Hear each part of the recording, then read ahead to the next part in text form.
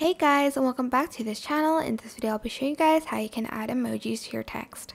So go to text and add in your default text and you can just type in anything you want or like if you just want to add in emojis just delete it and then copy and paste your emojis. So go to website um, and copy and paste it. For instance like this one just right click copy then go back to CapCut and then just right click paste like so. Um, the easier version is if you just select the keyboard here and then go to the emojis tab which is right here. And here you can add in emojis like quickly like so. And that is it. Super simple. I hope this tutorial was helpful for you guys.